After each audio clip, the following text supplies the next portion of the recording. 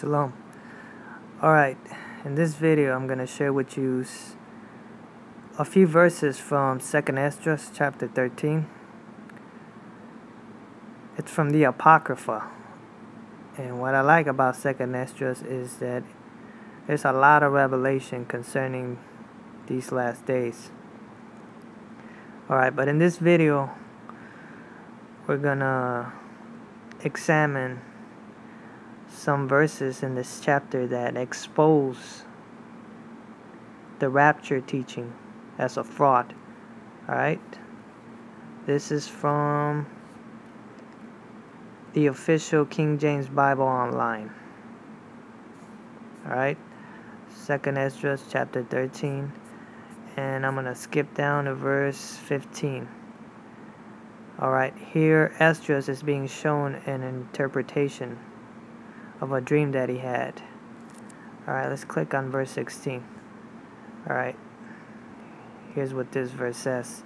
For as I conceived in mine understanding, woe unto them that shall be left in those days, and much more woe unto them that are not left behind. So here it clearly lets you know that those that are not left behind well, they're going to get it even worse than those that are left behind. So much for the rapture teaching, huh? Most people are being taught that, oh, if, if you're left behind, oh, that's bad. no, it's the total opposite. Again, why do you think they toss the Apocrypha to the side? Because when you read the Gospel, the teachings of Christ, He tells you, one shall be taken, one left. Most people think that the one taken is the one in safety. No, the one taken is either a foolish believer or a evildoer. We are to remain behind to help others to win souls for the kingdom. So don't be deceived. All right, verse 17 says, For they that were not left were in heaviness. See that? Those that were not, not left behind were in heaviness. Why?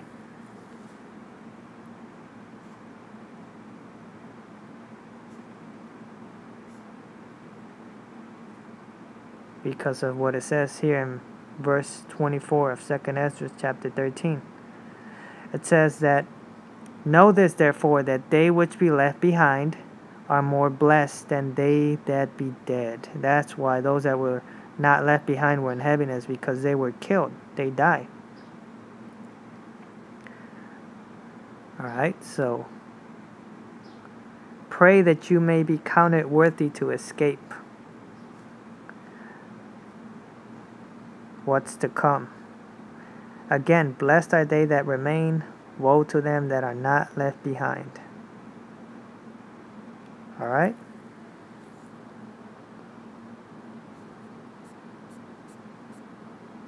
So you can read it for yourself. So I'll, leave the link up for this chapter.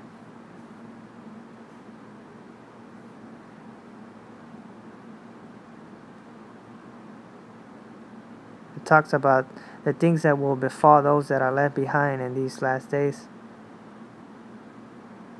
Many will be needy, but they'll be better off in the long run than those that got it going for themselves. And when all hell breaks loose, those that wait to the last minute to get right with the Most High and His Son, they're going to be removed.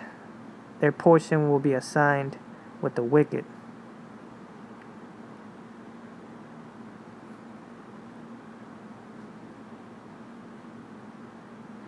Okay, here's verse 22. Whereas thou hast spoken of them that are left behind, this is the interpretation. So, what's going to happen to those that are left behind? Verse 23 says that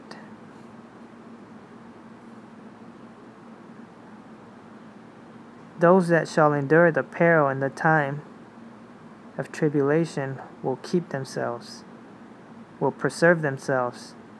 They that be falling into danger, those that fall into tribulation, are such as have works and faith toward the Almighty. They're going to go through some stuff, but like I said, they're going to be better off than those that are removed with the wicked. Second Esdras 13:24 again says that know and understand this therefore that they which are left behind are more blessed than they that be dead.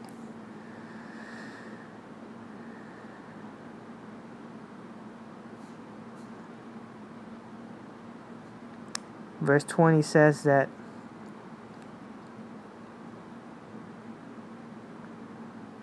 verse 20 says that it is easier for him that is in danger to come into these things than to pass away as a cloud out of the world and not see the things that happen in the last days.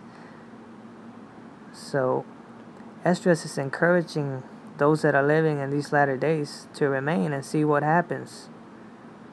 It's a blessing, you know. We don't know what's going to happen to the dead. There might be some Christians thinking they're going to heaven, wake up in the in the lake in hell, you know. We don't know.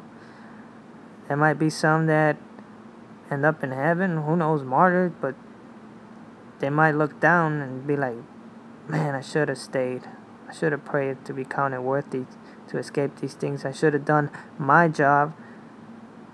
I should have had some works, whether it be helping others with that are needy. If you have, if you could assist others with their needs, if you're blessed financially, maybe man, I should have done more for the people.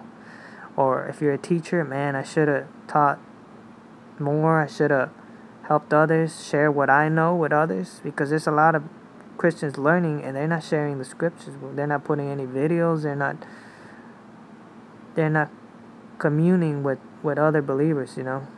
They're not doing anything. They're just idle.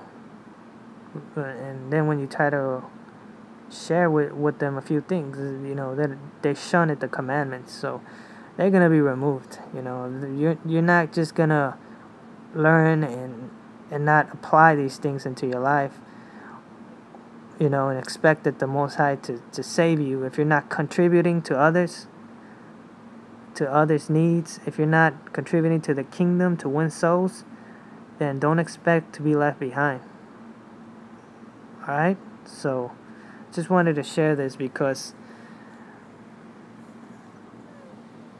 this chapter totally destroys the rapture teaching. And this isn't the only place. I'm sure there are other extra biblical texts that mention this, but this is like a quick, short and to the point chapter with a few verses that exposes the rapture doctrine. Why do you think they pushed the Apocrypha to the side? It was in the 1611 King James Version of the Bible, you know? Yes, the Bible's not perfect, but if you have the Holy Spirit, you don't need to worry about the distortions in the scriptures. The Spirit will help you, lead you into the proper interpretation of these verses. So, even uh, in the Gospels, Christ says, one will be taken, one will be left. So, who are the ones taken? The wicked or the foolish virgins? You know? Anyways, I just wanted to share this, and I'll leave the links up for those interested in reading about this if you know somebody that believes in the rapture and reads the Apocrypha, then show them this chapter and these verses. And even if they don't, you know, let them know, hey,